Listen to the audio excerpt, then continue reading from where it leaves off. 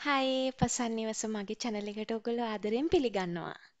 අද මම කීප දෙනෙක් අහලා තිබ්බ ප්‍රශ්නයකට උත්තරයක් අරගෙන ආවේ. ගොඩක් වෙලා ගන්නෙ නෑ. මම ටක් ගාලා මේක පෙන්නලා යන්න ආවේ. මේ කීප දෙනෙක් මගේ අර කලින් පුංචි බබාලා අර චූදාපු මෙට්‍රස් එක ක්ලීන් කරන වීඩියෝ එකේදී අහලා තිබ්බා. කා සීට් එකක් සුද්ධ කරගන්න පුළුවන්ද ඒ ක්‍රමයටම කියලා. ඇත්තම කියනවා නම් මම ඒ ක්‍රමය භාවිතා කරලා මගේ කා සීට් සුද්ධ කරලා තිබ්බේ නැහැ. හැබැයි ඉතින් හොඳ වෙලාවට අපේ මගේ මහත්තයාගේ කා එකේ ඉස්සරහ සීට් එකේ ටිකක් තද පැල්ලම් වගේක් තිබ්බා. ඊට පස්සේ ඉතින් මං හිතුවා මම මේකෙන් මගේ ඒ ක්‍රමය භාවිතා කරලා මේ සීට් එක සුද්ධ කරලා බලලා ඒක හරියට ආවොත් මම ඒක ඔයගලන්ට පෙන්නනවා කියලා. දැන් මේ ඔයගලන් දකින මේ මේ පැල්ලම ඇත්තටම අවුරුද්දක් කට වඩා මේ කාර් එකේ තිබුණා. මොකද මේ මේ කාර් එක කලින් මගේ පුතා පාවිච්චි කරේ. එයාගේ යාළුවෝ එහෙම ගිහලා ගොඩක් මේක නාස්ති කරලා තිබ්බේ. ඉතින් දැන් මේ පැල්ලම ආයෙත් මං කියනවා අවුරුද්දකට වඩා පරණ මේ ස්ටේන් එකක් මේක. ඉතින් දැන් මං කරන්නේ අර මම මුලින් කලින් වීඩියෝ එකේදී හදාගත්තු ඒ ද්‍රාවණයමයි මේ හදාගෙන තියෙන්නේ. මෙන්න මෙතන මම ලින්ක් එක දානවා. ඔයගලන්ට ඒක බලා ගන්න පුළුවන්. ඒක හදන විදිහ ඒක හදාගෙන තමයි ඔයා මෙතෙන්ට එන්න ඕනේ.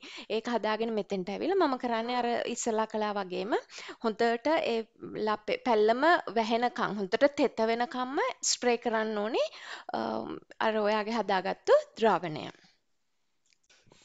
දැන් මම එහෙම ස්ප්‍රේ කරලා හොඳට මේක පැය භාගයක් විතර තියන්න අරිනවා. තියන්න ඇරලා ඊට පස්සේ පෙන්නන්නම් මම කොහොමද සුද්ධ කරගන්නේ කියලා. දැන් ඔන්න මම හරියටම පැය භාගයකට පස්සේ ආවා මේකේ තත්ත්වය බලන්න. මම අර කලින් වගේම හැමතිස්සෙම මම කරනවා වගේ හොඳ පිරිසිදු මයික්‍රෝෆයිබර් ක්ලෝත් එකකින් දැන් මම මේක තදින් අතුල්ලලා පිරිසිදු කරගන්නවා. ඔයාලට මං හිතනවා පේනවා ඇති කියලා ඒ තිබ්බ පැල්ලම සම්පූර්ණයෙන්ම පිරිසිදු වුණා. හොඳ ඒ කියන්නේ අර සීට් එකේ ඔරිජිනල් කලර් එකටම ආවා. ඉතින් දැන් මේක ඔයාට මීට වඩා ගොඩක් තද පැල්ලමක් නම් මම හිතන්නේ මේක මේ process එක දෙතුන් පාරක් කරන්න.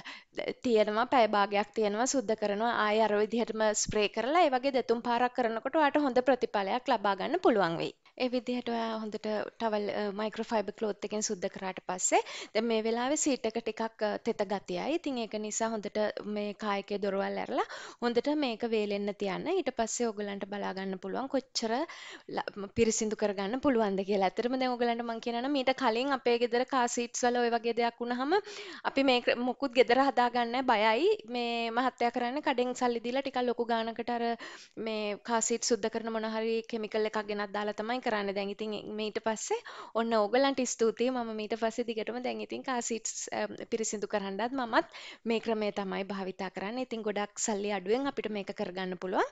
ඕගොල්ලොත් කරලා බලලා ප්‍රතිඵල පහලින් කමෙන්ට් එකක් විදිහට දාන්න. එහෙමනම් ඉතින් ඊළඟ වීඩියෝ එකකින් හම්බ වෙනකම් මං ගිහින් එන්නම්. ඕගලන් පරිස්සමෙන් ඉන්න.